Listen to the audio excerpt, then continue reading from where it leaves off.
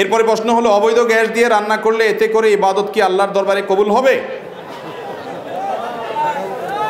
অবৈধ গ্যাস বা চোরাই গ্যাস লাইনের গ্যাস দিয়ে যদি রান্নাবাড়া করেন, তাহলে সেক্ষেত্রে আপনি যেই খাবারটা খেলেন, সেই খাবারটা তো হালাল খেয়েছেন, পাতিলের ভিতরে জিনিসটা তো হালাল ঠিক আছে। কিন্তু যেই গ্যাসটা দিয়ে আপনি রান্না করলেন গ্যাসটা তো চোরাই গ্যাস, তাহলে আপনি চোর হলেন, চুরি করলেন, এটাও উপার্জন। হারাম উপার্জন যদি হয়, হারাম শুধু ভক্ষণ না, ভক্ষণ করলেন হয়তো হালাল, কিন্তু কাপড়টা আপনার শরীরে হারাম, গ্যাসটা আপনি যেটা ব্যবহার করতেছেন সেটা হারাম, বা আপনার অন্য কোনো কিছু হারাম, যে বাড়িটা তৈরি করেছেন যেটাতে থাকেন সেটা হারাম তাহলে আপনি হারাম খোর হারাম খোর মানে এই না শুধু যে শুধু আপনি যেটা খাচ্ছেন সেটাই শুধু খেলে হারাম হলে হারাম, এটা ছাড়াও আপনার এই আসবাবপত্র অন্যান্য কোনো হারাম যদি আপনি উপার্জন করেন সেটাও হারাম, ওইগুলোর কারণে মানুষ হারাম খোর হয়। অতএব যদি অবৈধ কোনো গ্যাস লাইন ব্যবহার করেন, তাহলে সেক্ষেত্রে আপনি হারাম খোর এবং হারাম খাচ্ছেন। আর হারাম খেলে তার দোয়া কবুল হয় না, ইবাদত বন্দী কবুল হয় না। এতক্ষণ আমরা রমজানের প্রস্তুতি নিয়ে অনেক কথা বলছি, অনেক ওয়াজ করছি। কোনো ওয়াজে কাজ হবে না যদি আপনি হারাম খান।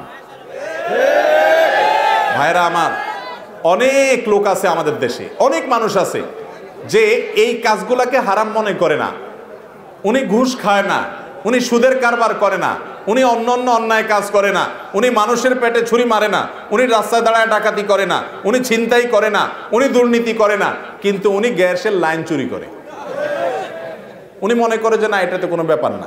আছে না না এরকম লোক ভাইরা আমার ডেঞ্জারাস অপরাধ।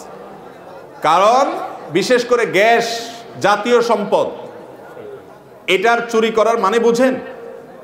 আমি সব সময় বলি, এটার চুরি করার মানে হলো আপনি জাতীয় চোর। জাতীয় সম্পদ যারা চুরি করে, তারা কি? জাতীয় চোর। একজন একজনের টাকা চুরি করেছে, সে স্থানীয় চোর। বুঝতে পেরেছেন? একজন এলাকার একজনের টাকা চুরি করেছে, জিনিস চুরি করেছে, সে হলো স্থানীয় চোর।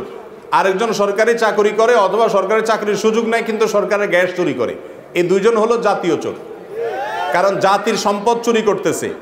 কেয়ামতের ময়দানে আঠারো কোটি মানুষ যারা এটার মালিক তাদের সবার বিরুদ্ধে তাকে মামলায় লড়তে হবে, এত লোকজন বাদী হবে, সবার হক নষ্ট করেছে সে।